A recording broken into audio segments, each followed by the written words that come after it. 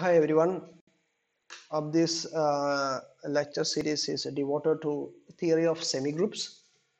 So our lectures are um, mm, based on um, introduction to the theory of semigroups by uh, J.M. Howie, a pioneer in semigroup theory, and uh, uh, we will introduce this um, topics of semigroup theory in order to develop research in uh, semigroups.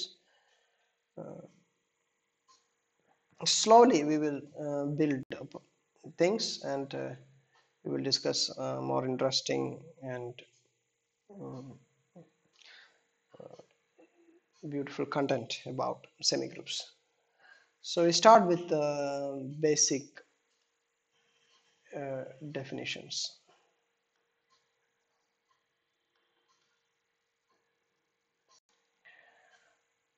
So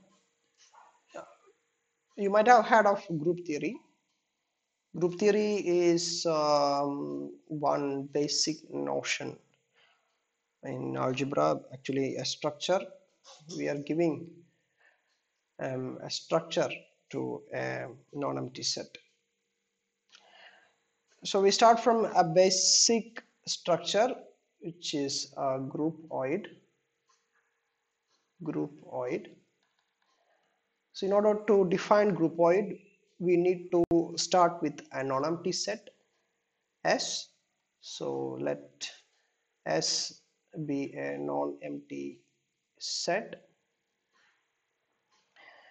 and uh, mu is a map from S cross S to S. Since it is from S cross S to S, we call it as a binary operation.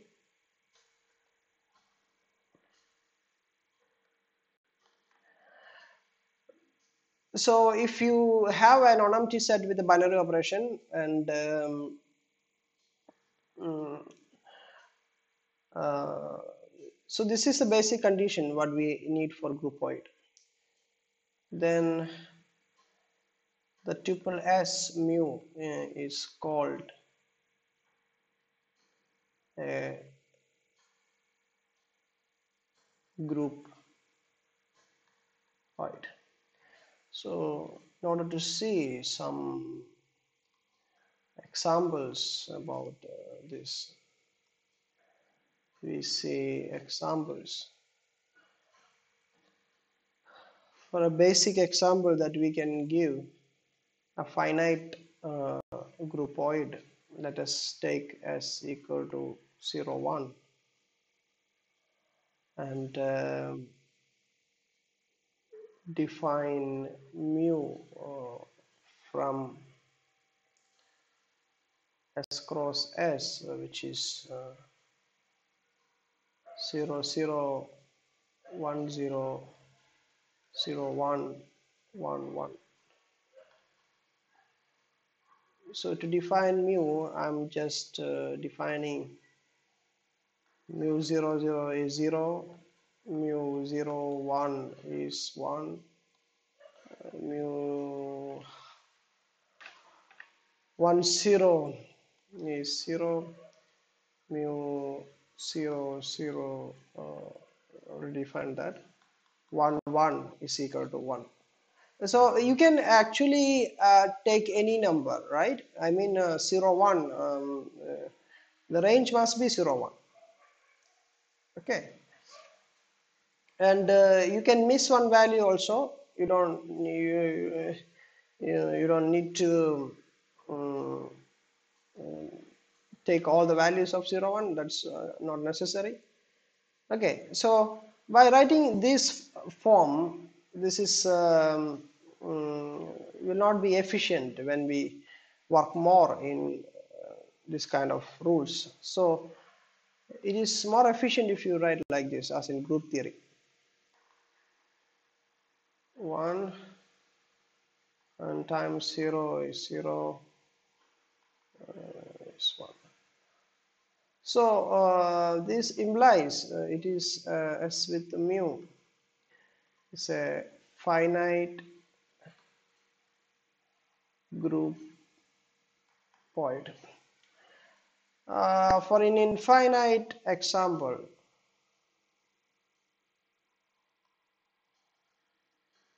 for infinite groupoid, you can um, uh, you can choose uh, z using subtract subtraction. Because if you take two integers and you subtract it it will definitely will lie inside z only. So it's a groupoid and of course z is infinite. Uh, then um, is this is an infinite groupoid likewise uh, you can uh, construct other examples like this like uh, real numbers under multiplication. There are a lot of examples of groupoid uh, you can encounter a lot of examples so our next uh, immediate uh, definition uh, would be semigroup. So we start our journey from here, which is semigroup. A semigroup basically a groupoid uh, with that multiplication rule or or or the map mu is uh, uh, associative or simply let S is a non-empty set and uh, mu from S cross is uh, associative. So when you say associative, um, I must, uh, that is, uh, you, you have to take any x, y, z from S. This must satisfy a certain condition that means if you if you first calculate the value of mu y z then you calculate mu x of uh, and mu y z. This must be equal to you first calculate mu x y then you with this. Uh, this is a little bit uh, clumsy and um, not very nice form. So you can use something like this. X y z is not is must be equal to x y z. Uh, note that uh, you cannot interchange uh, these two here because uh, that would be uh, in another property okay.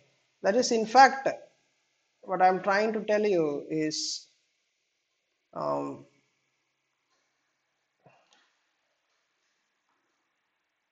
uh, mu of x y is need not be equal to mu of y x feels like you are putting two numbers but it is not uh, right like that. Because x y and y x are elements of s crosses so they, the maps may be different.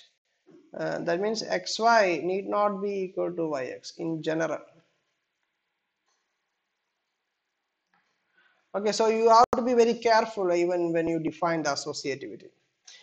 So here you can see uh, uh, uh in this special example, 0, 1, 0 times 1 is 1 and 1 times 0 is 0. They are not uh, same right? Uh, so that is a extra virtue that a semi group must possess if we really need it should if it should right? So what are the examples of semi groups so there are a lot of examples. We will we will interest we will encounter beautiful examples even very beautiful examples. But we, here we are just um, normal examples like uh, said plus is uh, because plus is associative. This is a semi group uh, like uh, then uh, what I can say R multiplication a lot of examples are coming.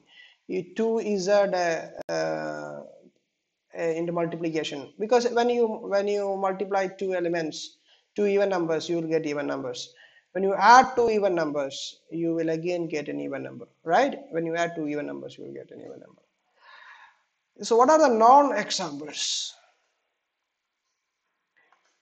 Non-examples are uh, the collection of odd numbers, uh, odd numbers with addition. Because if you add two odd numbers, you will not get an odd number, you will get an even number. So it's not uh, not a semi group.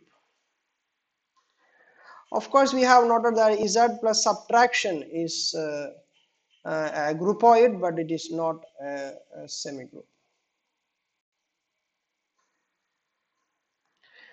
Okay, so these are the um, uh, um, uh, immediate examples, right? So another thing is suppose uh, an example of um, a finite groupoid which is not a semigroup. Finite groupoid which is not a semigroup. Um, so in order to construct this, first of all, you have to uh, get one finite set and you have to assign some multiplication rule. So mu is defined as, I'm going to define mu. 0 times 0 is 1, 1 times 1 is 0, 0 times 1 is 0, 1 times 0, 1. So I'm defining like this. And um, in order to uh, disprove uh, something is uh, some something is not a semi-group, you need to um, choose at least three elements and show that uh, associativity is not working. So for that I am just considering this this multiplication 0 times 0 times 1 I would uh, get 0 times 0 uh, defined as 1 1 times 1 defined as 0 but if you look at 0 this way 0 times 0 times 1 is what? 0 0 times 0 defined as 1 so they are not uh, equal right? So this implies that 0 times 0 times 1 is not equal to 0 times 0 times 1 uh, so not not associative so mu is not associated.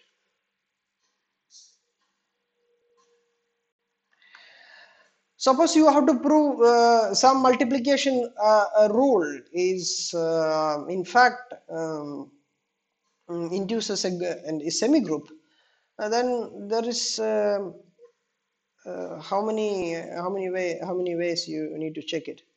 Suppose s is uh, some numbers like x1 up to xn then you have a multiplication rule right actually from S cross S to S.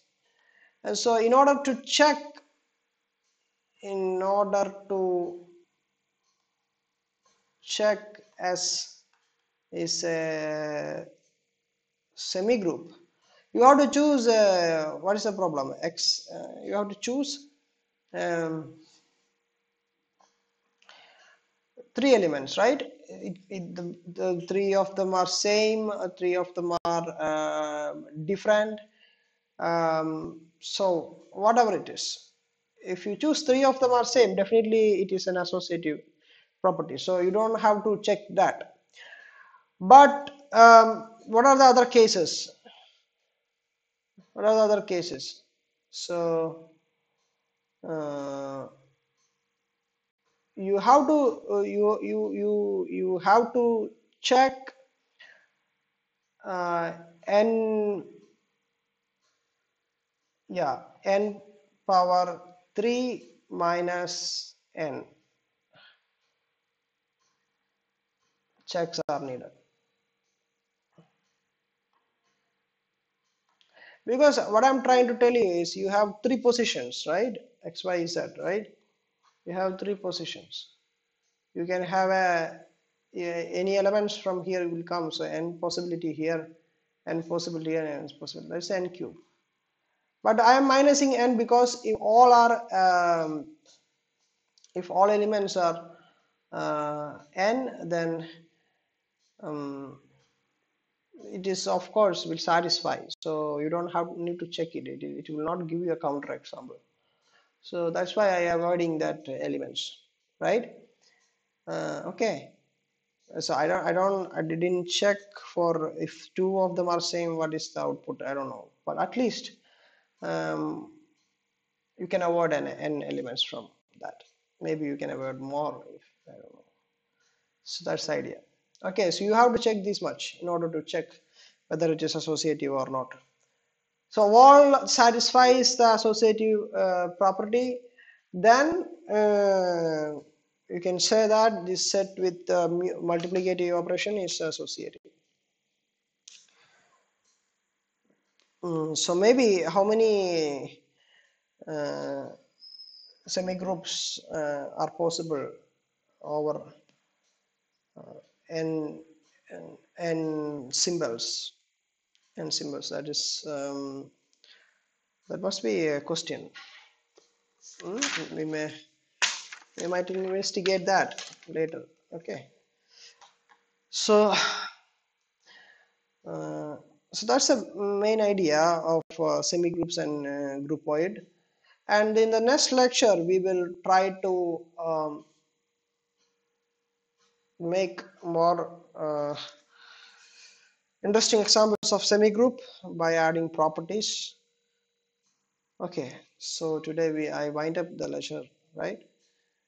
Okay the next class we will define commutativity of semigroups and uh, some important properties.